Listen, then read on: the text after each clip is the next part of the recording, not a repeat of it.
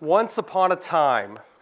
It's a great way to start a story about exploration, about adventure. It's a traditional opening for a story about the past. Unfortunately, there's no traditional opening for a story about the future. I'm not quite sure why that is. It's not for a lack of stories. We have stories about the future that date back thousands of years. Now, I will admit those stories, when you hear them, sound a little more like fairy tales than reasoning about the future. The oracle at Delphi in the 6th century BCE was consulted by Croesus, who wanted to go to war against the Persians. And he asked the oracle what would happen if he attacked the Persians, and the oracle said, If you attack, a great nation will be destroyed. Croesus took that vision of the future, attacked the Persians, was handily defeated, and thus fulfilled the prophecy of the oracle that a great nation would be destroyed, namely his own. And we've come a long way in thinking about the future from that kind of uh, mixture of hallucinogens and ambiguous statements that were very common at the Oracle at Delphi. And as someone who works uh, in, the, in looking at the future, specifically the future of uh, technology and travel, I'm excited by the progress that we've made, mostly because it comes from so many different disciplines. You think about scientists, mathematicians, technologists, engineers, names like Da Vinci and Einstein that uncover truths of their day, but also truths that would be revealed later, years later, decades later, sometimes centuries later. But it's not these select few that help shape the way that we think about the future. Also, literature. H.G. Wells uh, created the time machine, invented it in 1895 at least invented it on paper. This is a rough representation of that from one of the movies about his book, which is aptly named The Time Machine. Before 1895, if you wanted to put one of your literary characters into the future, you just had them fall asleep for a really, really, really long time. And then they would wake up at some point in the future and explore a new world.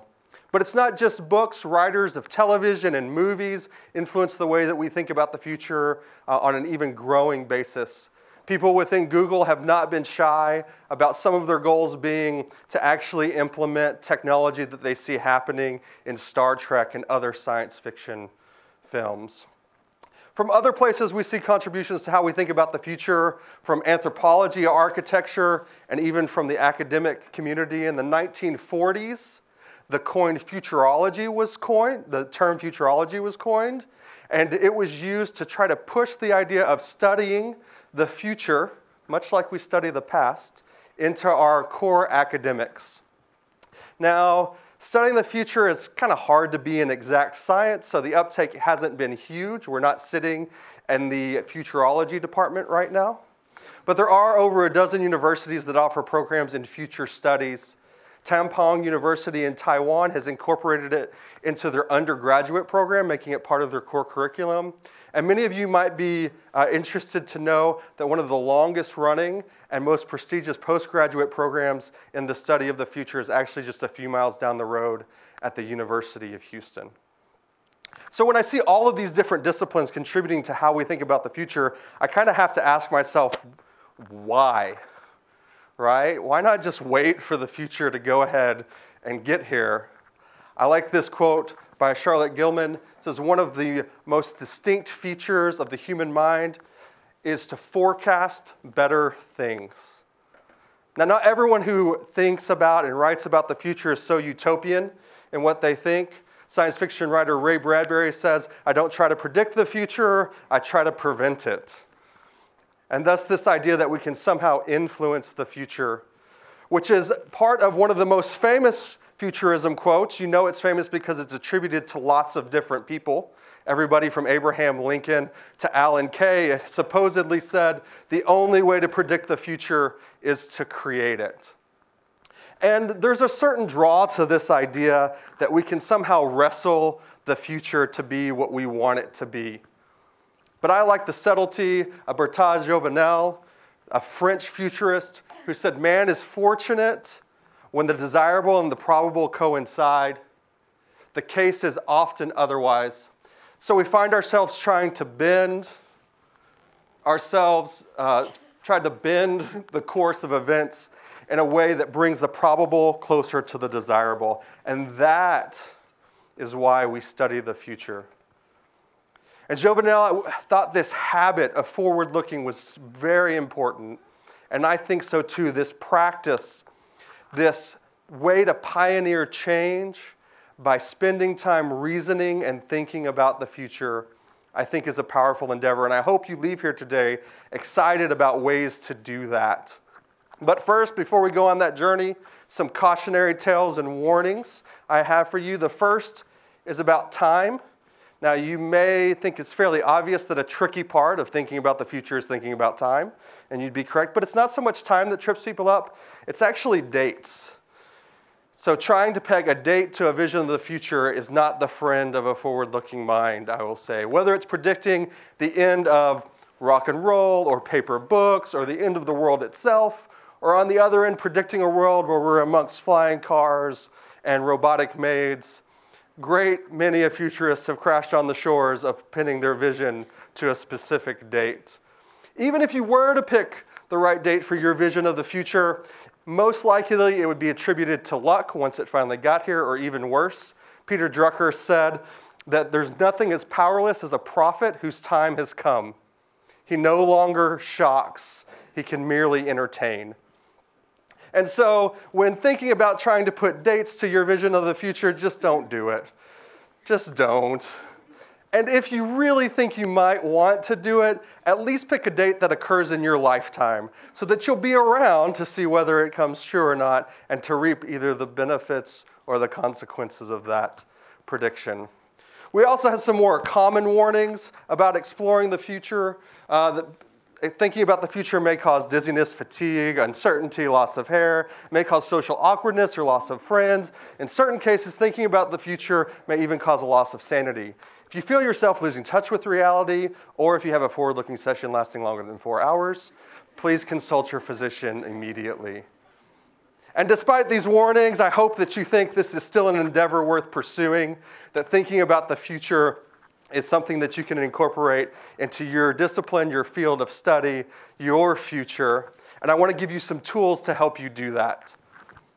The first is scenario building. So, scenario buildings let us lay out possible futures and explore them individually so that we can explore things that are plausible and sometimes things that are almost impossible.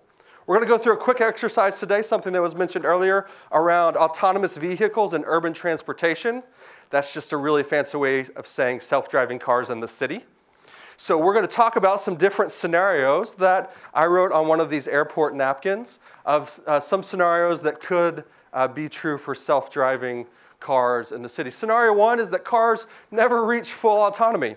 So, sometimes the boldest scenario you can make is the progress that you want to see doesn't actually happen that you may see a scenario play out where uh, many of the features improve, but it never fully ejects the driver from the car scenario. Scenario two says that specialized cars are autonomous on current infrastructure. So there may be something, cost, patent, something that allows some cars, maybe public transportation, taxi services, to be self-driving, but not other vehicles, not all vehicles. The key here is that it's on the current infrastructure. We don't have to change our roads or our buildings for that scenario. Scenario three, we may not end up taking to our bosses, but cars don't reach autonomy but are somehow remotely driven, kind of like we drive drones today, is that they're remote. This could be a possibility of the future. Four, specialized cars are autonomous on specialized infrastructure. This means not only do we have to put special technology in cars that may be expensive and only a few have them, but we also have to do something to our roads or our buildings or our city infrastructure to make that happen.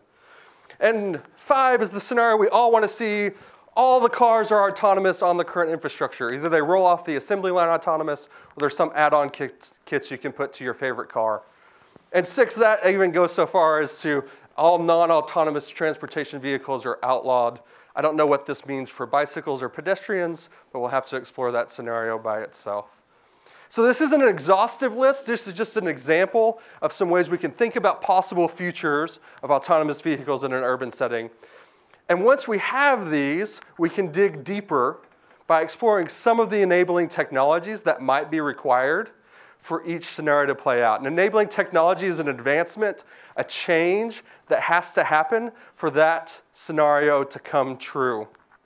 An example here, let's talk about scenario five, everyone's favorite. We're all not driving cars anymore, they're driving us around.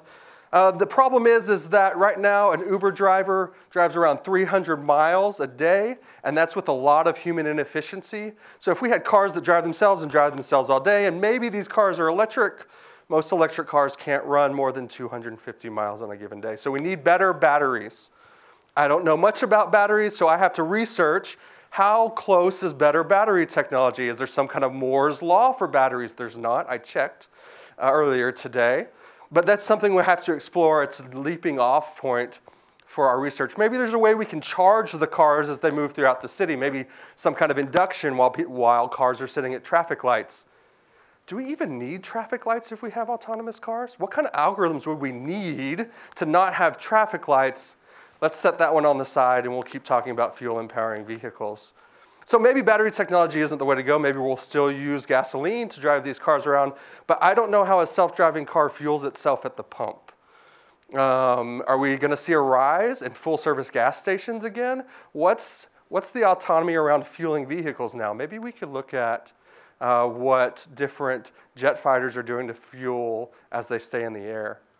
All of these things are ways to further explore a given scenario they give you leaping off points to take this scenario from kind of casual to really more reasoned.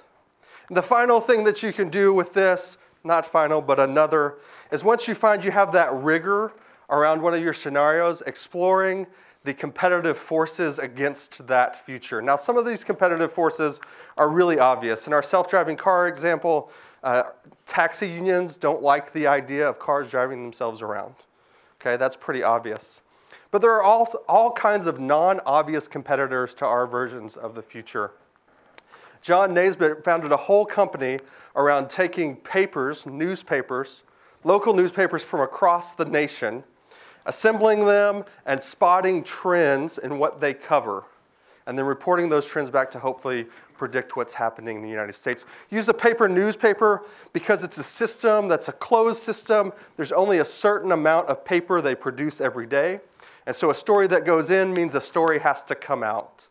What he found is that some causes, some things compete with each other, not because they're explicitly competitive, but because they compete for our attention, they compete for talent, they compete for funding. He saw that in the 1970s that as environmentalism was gaining attention, civil rights issues were waning in the papers a rise and increase in our awareness of environmentalism meant that we were talking less about civil rights issues the papers. And so your version of the future may face competition that's not direct at it, but indirect. In our autonomous vehicles discussion, while I'm excited about our uh, renewed vigor to explore space, in our current environment of finite attention, talent, and funding, does that somehow compete with my version of the future of self driving cars? And so, in just a few minutes, right, we've gone from casually talking about cars that drive themselves around cities to being able to have some jumping off points to research and really understand what it might look like for this future to come true. And I hope that you see it's not just self driving cars or technologies, but it's, it's anything that we do today that you think extends out the future. It's your job, it's your discipline, it's the things that are happening around you. And I hope that you're inspired by the mental explorers of the past and of the present to take up this practice, this habit of forward looking. Um, author Bruce Sterling said the years to come are not merely imaginary, right? They are history that hasn't happened yet. That's why this is important. And so I hope that with you, when you look back on this future history, that it could be said of you that once upon a time there was a forward thinker, a thinker not limited by the certainty of the past or distracted by the busyness of the present, but bold enough to venture into the future, using tools of reason and avoiding common missteps, was able to envision a world made better a future that we could all work towards and live happily ever after. Thank you.